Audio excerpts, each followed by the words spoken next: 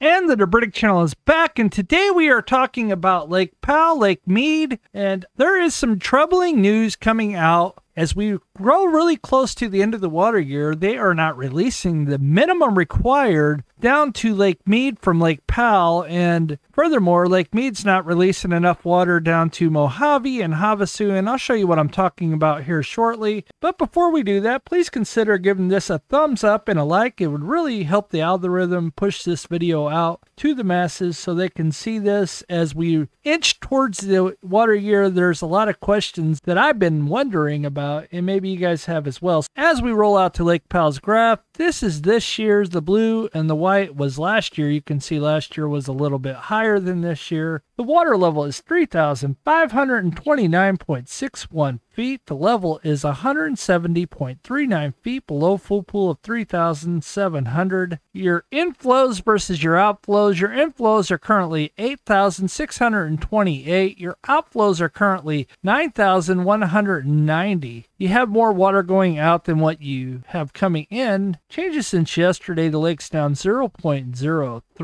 Changes in the last 14, lake's down 0.04. Lake Powell is down 16.22 feet from one year ago. Lake Powell is up 7.37 feet since the water low. So when the water was at its lowest this year, the lake has actually come up 7.37 feet. Your storage acre feet is currently 5,813,982. Percentage of capacity is currently 23.90% of capacity. There are currently 1 trillion 894 billion 494 million 340 42,880 gallons of water in Lake Powell. And this is what I'm talking about. 92.39% of the minimum required is what they have released so far. They are currently 7.61% away from releasing the total required minimum. And then we go to your total releases so far. Your total releases so far are 6,929,375. The problem here is they have to release 7,500,000 acre feet by September 30th. They're only at 92.39%, so they are a long way from the 7,500,000 total required. Required means they have to release this water, and if they don't, I'm not sure what will happen. I don't know if they like get fined or what happens, but they are a long way from releasing that much, and they've been reluctant to because they're worried about running out of water. And when I get out there in October, the middle of October, I will be drilling them, asking them why they didn't release the 7,500,000, and I'm hoping to get that on video for you all. So stay tuned for that. I got about 18 more days before I head out that way, and I will be out there Monday the 17th. So be looking for that around Tuesday or so, and hopefully I get the answers that I'm looking for. We will see. Now we go down to Lake Mead, and we will check out those numbers now. As we're looking at Lake Mead's graph, like we did at Lake Powell, the white is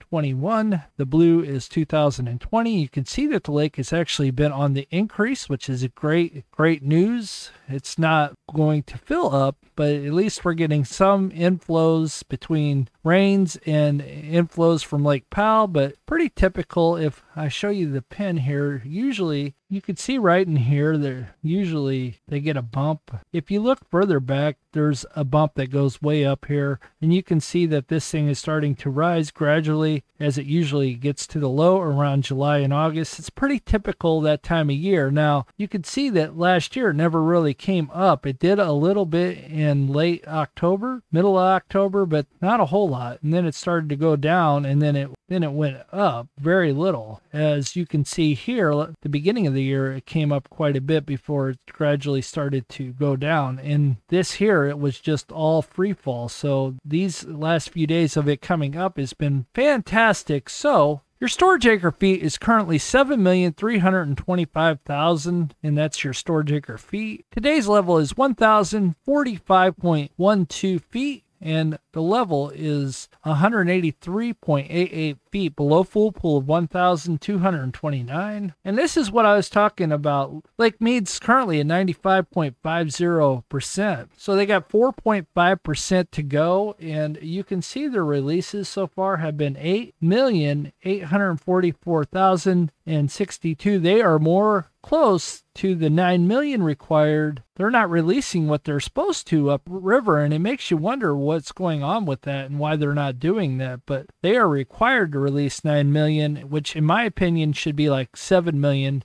and the lake would be a lot better off if they would have been doing that from the word go but they didn't so this is what we got and this is why the lake is down so far Lake Mead one year ago was at 22.56 feet. Two years ago, it was 38.25 feet higher. Inactive pool is 95.12 feet away, and dead pool is 150.12 feet away from dead pool. Your inflows for Lake Mead are currently 12,042. Your outflows are only 8,890, and I'm not sure if they're going to make it to the minimum required. We will see what happens. I'm really curious what's going on there. Lake Mead is up 0.97 feet in the last 14 days. Lake Mead is up 0.04 in the last 24 hours. Lake Mead is up 4.40 feet from the water low. Lake Mead is down 22.5 feet in the last year, and the percentage of capacity is currently 28.31%.